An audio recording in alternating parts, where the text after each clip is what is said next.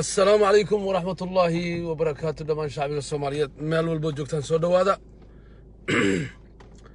Aad uma hadli karo aad uma hadli karo. Bacda acuudu billaahi min ashaytaan arajiim bismi illaahi araxmaani araxiim wasalaatu wasalaamu calaa sayidina wa xabiibina maxamedin wacalaa aalihi wa saxbihi wasallim waxaan rabnaa walaalayaal waxaan baryahan baaritaan ugu jirnay ama aan aruurinaynay. Dadku ilaan fataatiir ma ahan dad bay ka dhasheen soomaali la yidhaahdo dhibaatooyinka ay geysteen ciidamada kenyaanka ah ee cadowga ah ummadda soomaaliyeed ku soo duulay. Dadkii shacabka ahaa labaatanka sano badda laga iibsaday dhulkan laga iibsaday. Cafwan siddeeddii sano ay joogeen dalka dhibaatooyinka ay geysteen baan rabnaa baartiwankii ugu horreeyey inaan soo saarno. Waxaan rabnaa bal inaad nala dhegaysataan qof kastoo muslimana uu dhegaysto oo soomaali ah oo damiir leh waxaan ku bilaabayaa dhibaatooyinka iyo xasuuqa ciidanka dalka kenya ay ka geysteen gobollada jubbooyinka. Waxaa halkaan inkugu soo bandhigayaa qaar ka mid ah. Dhibaatooyinka ay ciidamada kenya kula kaceen dad shacab ah. Muddadii siddeeddii sano ahayd ee la soo dhaafay. Oo iskugu jirto duqayn dilal barakicin waxyeellooyin shacab soomaaliyeed. Boqol qof ku dhowaad oo shacab soomaaliyeed ah. Waxaa halkan ku xusi doonnaa degaanadii ay dhacdooyinka ka dhaceen sida ay wax uga dhaceen iyo dhibaatadii halkaa ka dhacday iyo dhibaatada halkaa ka dhacday kuwaas oo ay kuwaas oo naf ku naf waayeen soddon iyo shan soddon iyo toddoba ruux.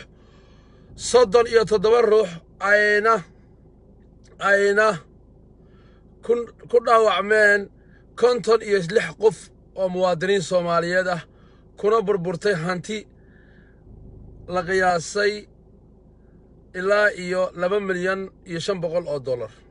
Warkaas si fiican u dhegaysta waxaa ka mid a deegaanadii ay kenyaanku xasuuqeen dhibaatada ay u geysteen dhibkan ay u geysteen waxaa ka mid a baar dheere. Birta dheer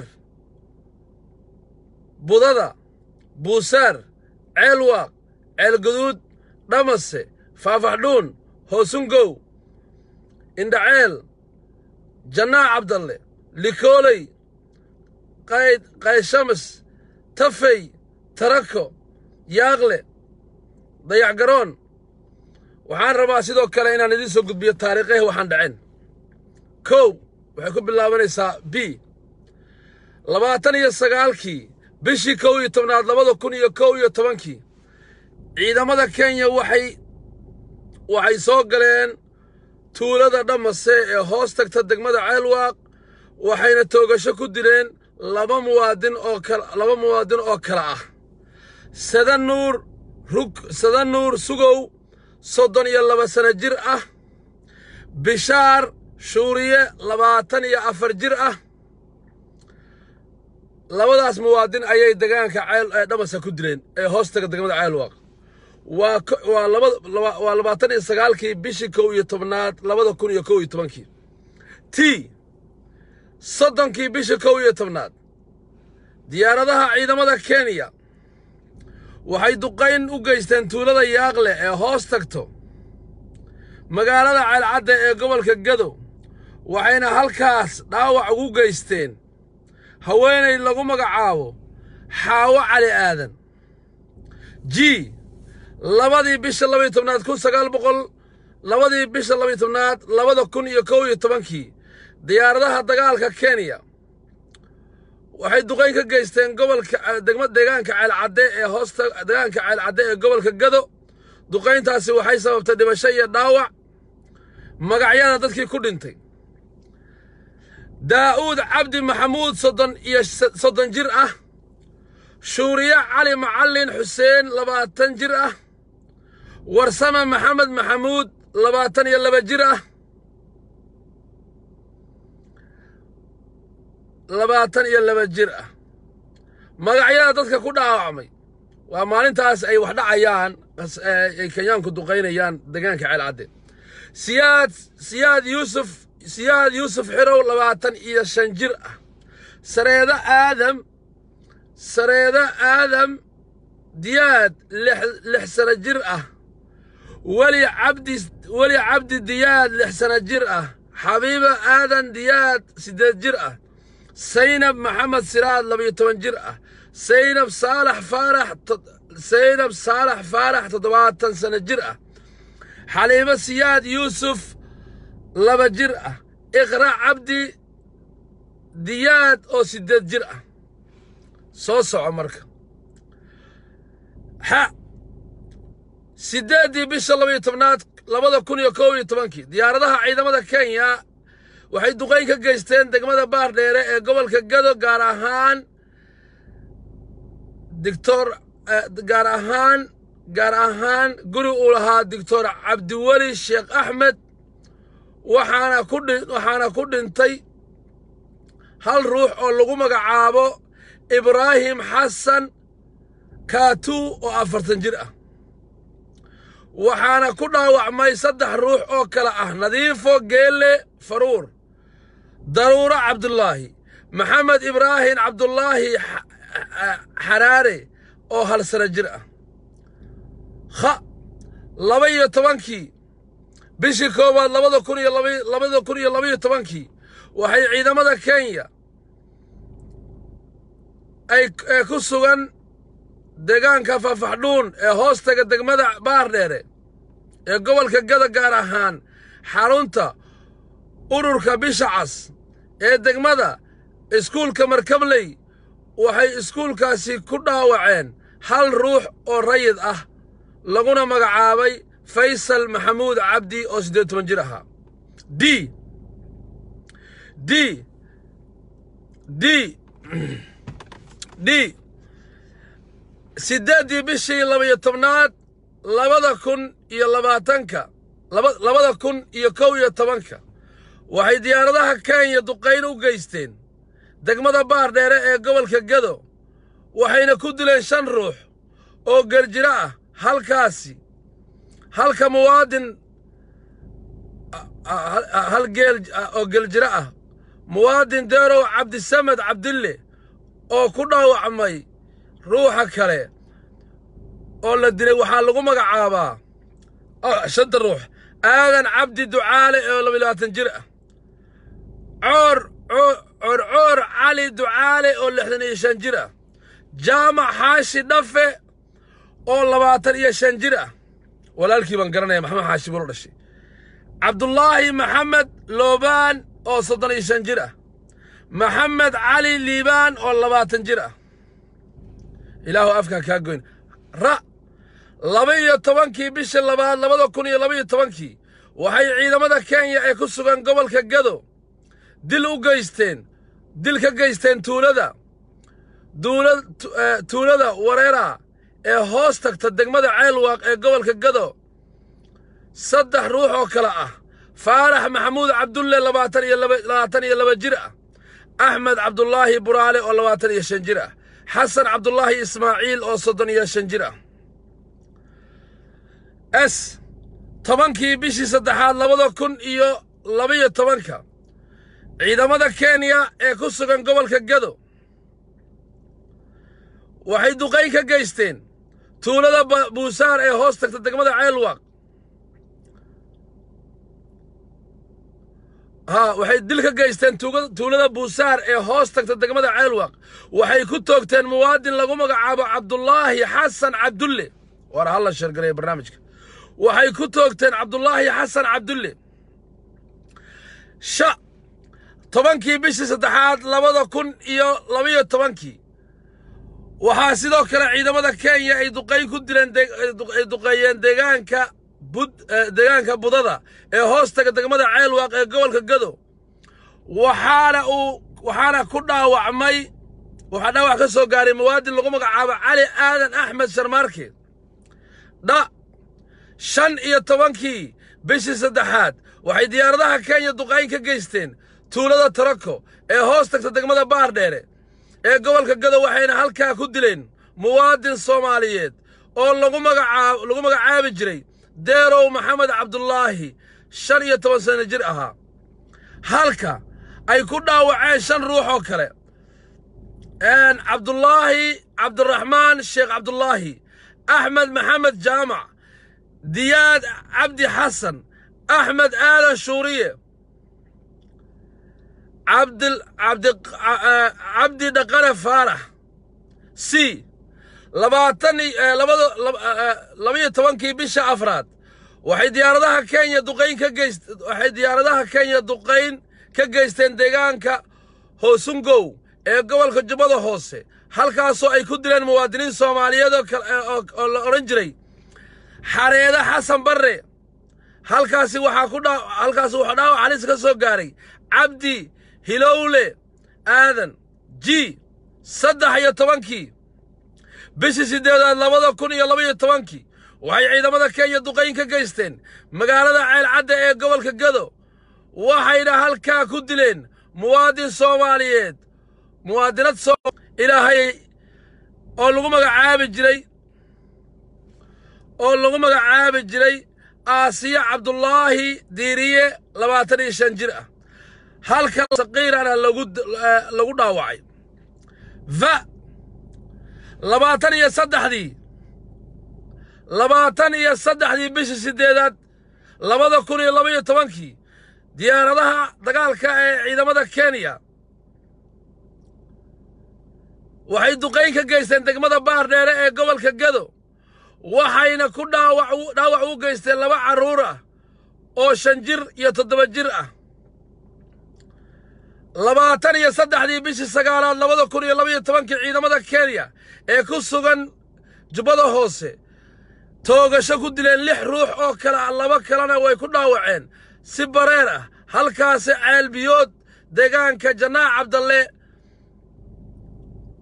اي كورا بني يهي الحولو مقعيض اوضا وحال لكال علي عثمان عمر عبد الله احمد صلاه aadan aadan buus aadan aadan buusare maxamed wardheere maxamuud xuseen xasan ibraahim afey cili aadan axmed magacyada kuwa dhaawacmay aadan cabdi ismaaciil xasan deerow salaad. Warkaas si fiican u dhegaysta labaatan iyo sagaalkii labaatan iyo sagaalkii bishii sagaalaad labada kun labaiyo tobankii markii afraad muddo markii afraad muddo sannada diyaaradaha kenya diyaaradaha dagaalka ee diyaaradaha dagaalka ee dalka kenya waxay duqayn u geysteen degmada baardheere ee gobolka gado gaar ahaan xarunta. Xarun la odhan jiray xarun la odhan jiray a d c da oo sababtay dhimasho muwaadiniin soomaaliyeed ah حسين إبراهيم آذن صدّن إياس لبجرأة داوع واتدبرح نصر ع... نصر علي عبدي أفريت جرأة.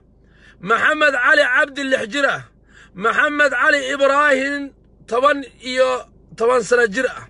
رحمة عبد الشيخ ديني أفريت جرأة. Nasteexa cabdi xaashi laba iyo toban jir ah. Ladan maxamed cabdi toddoba sano jir ah. Daahir xuuriye lixdan sano jir ah. Siddeed iyo tobankii bishii koowaad labada kun iyo lix iyo tobanka. Saddex maalmood. Saddex maalmood ka bacdi dagaalkii ceelcadde ciidamada kenya waxay dib ugu soo laabteen.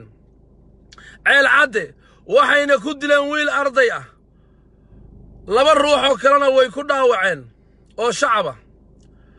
Saddexda ruux oo dhimatay waxaa la odhan jiray shucayb daa'uud maxamed sagaal iyo toban jir ahaa.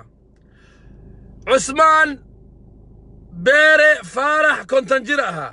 Maxamed xuseen ciye afartan jir ahaa. Ruuxa ruuxa dhaawacmay waxaa la yidhaahdaa maxamed saalax khamiis afartan iyo shan jir buu ahaa.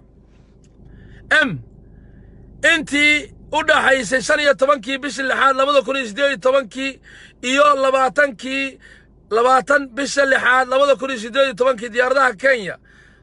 Diyaaradaha dagaalka ee ciidamada dalka kenya waxay duqayn ka geysteen deegaanka calcadde ee gobolka gado. Saddex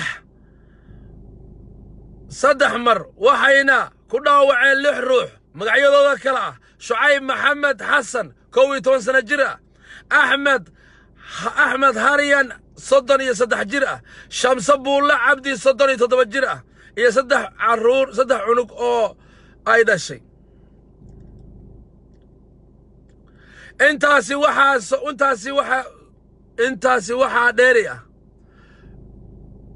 Sidoo kale ciidamada kenya ee gobolka gado ee gobolka ciidamada kenya ee gobollada jubbooyinka hadda haatan dhinaca waxay baabi'iyeen waxbarashadii isgaarsiintii ganacsigii caafimaadkii isu socodkii horumarkii waxaa sidoo kale ciidamada kenya ay laayeen xoolo aad iyo aad u fara badan waxayna burburiyeen guryo ceelal biyo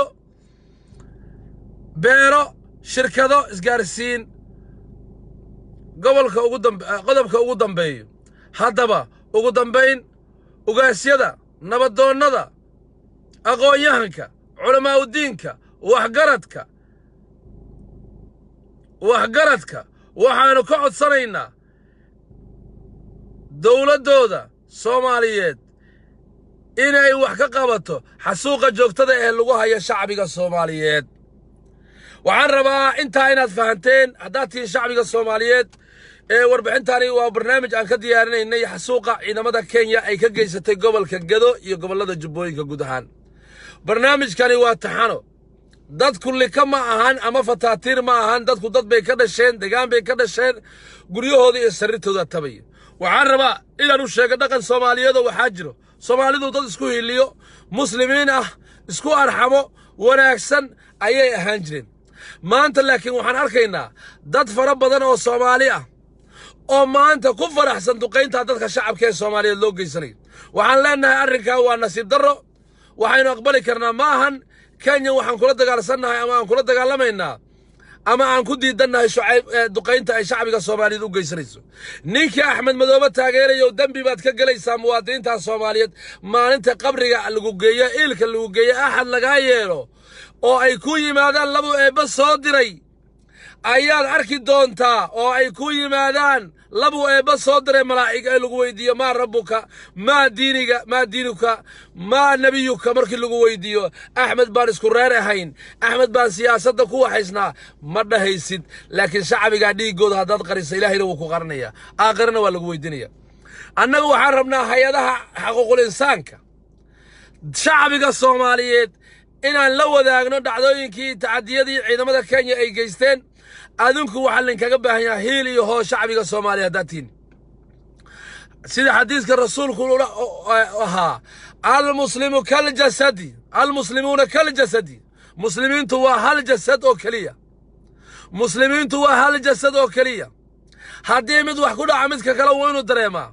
Walaalayaalow waxaan idin weydiinayaa dadkan masaakiinta ah ee ay ciidamada saliibiyiinta ee kenyaanku duqaynayaan waa dad soomaaliyeed ووالالهين دي قود حدينا وحبا اوتاري كرها هاد سورينا قرب بين كقباهين ادين كاين لده شين اقوى الصومالي حدية عاد مركة هرقل مرتزقة اي احمد مدوبة يا جروب كقاندي اينا عبد الرشيد بعدد كاللاية يا شريف أفجود قالن كي اينا عبد الشكور بيودنتين لكن وحين الله يحاسب الله بما يلحيق الهي باين كحسابين يا باتدد مدوقي ستين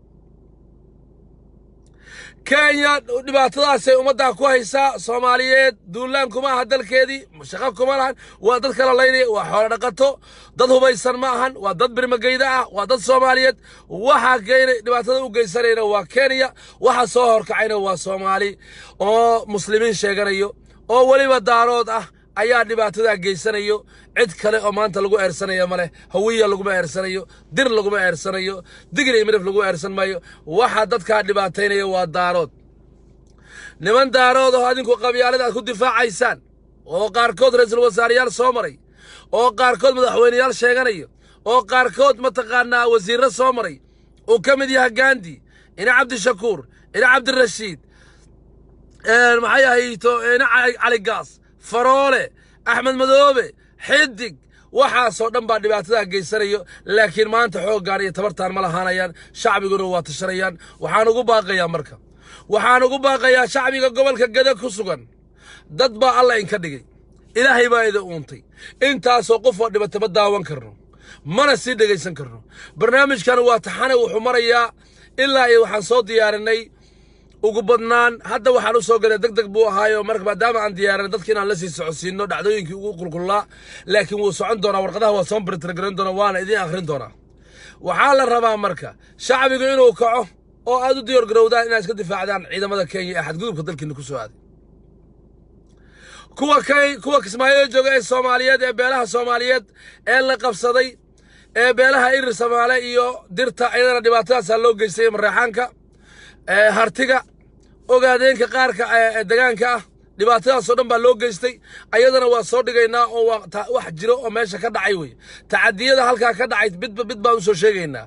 Ninka marka axmed taageeraya asee u taalla shacbiga meel walbuu joogo gobollada jubbooyinka waxaan leenahay gacmaha isqabsada u diyaar garoowa cadowga dalkiinna iyo degaankiinna ku soo duulay iyo malaysiyaadka murtasaqiinta ah ee laga soo arooriya dowladaha dariska ah la dagaalama dalkiinna ka saara annagu waxaan leenahay garab iyo gaashaan baa idiin nahay hiil iyo hoob aan la garab taagannahay waxaanu ku caawin karna haddaad dhiig nooga baahantiin dhiig baan diyaar la nahay haddaad dhaq haddaad nooga baahantiin maskax maskax baan diyaar la nahay haddaan inaan la wadaagno aad nooga baahan tihiin tacadiyadan ciidamada saliibiyiinta kenyaanka iyo malaysiyaadka murtasaqiinta ee dowladaha dariska ka yimid ay geysteen inaan meel walba oo beesha caalamka iyo hay-adaha xaquul insaanka la kaashanaan isku dayaynaa ilaahay baan ugu dhowaanaynaa waa cibaado ka mid a cibaadada ilaahay loogu dhowaado shacbi soomaaliyeed oo dulman oo dhibaataysan inaynu ku daawanno caqligal ma ah.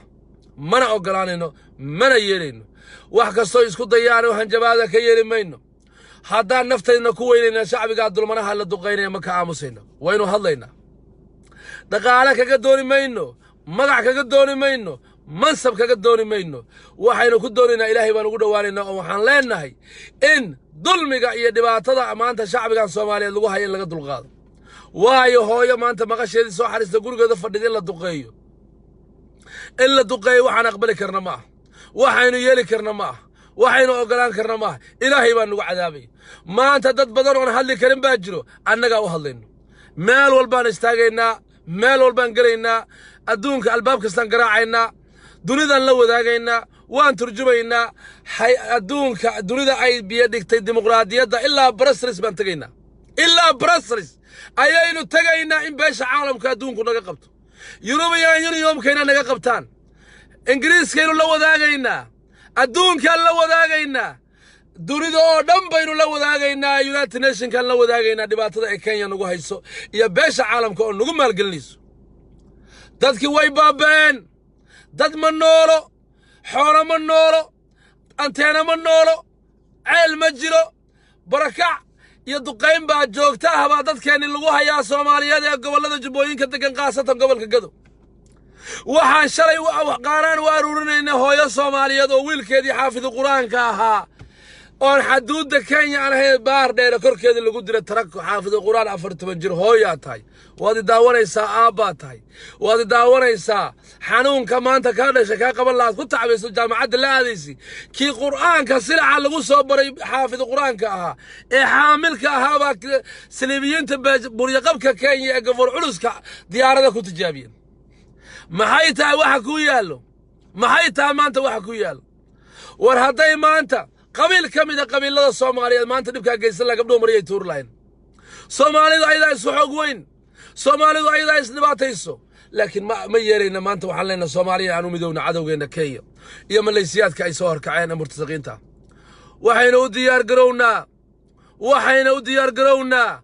Waxaynu u diyaar garownaa. Waa inaan kenya dalkeenna ka saarnaa. Waxaan leeyahay aqoon-yahanka waxgaradka meel walboo dunida ka joogtaan ee soomaali iyo kuwa gobolladan ka soo jeedo. Albaab kasta garaaca waxa idin laynayo إنكو باور قرينيو دقالها ديارة لغو شدالك لغو شويو أسكرت مشاركي قادر إيسو واحد بحيسوا بيش عالمك مرتزقة على وشو شقيستها دوا نليفك أحمد مدوو العاكت لسيري بيش عالمك بحيسو خوبك بيش عالمك بحيسو نباتة دو مدلوها بيش عالمك بحيسو بيش عالمك أينو لدقا لنو أو آنو الشيقنو حفيسي لغا صدري إندتك سوماليا دي دمادين لبابي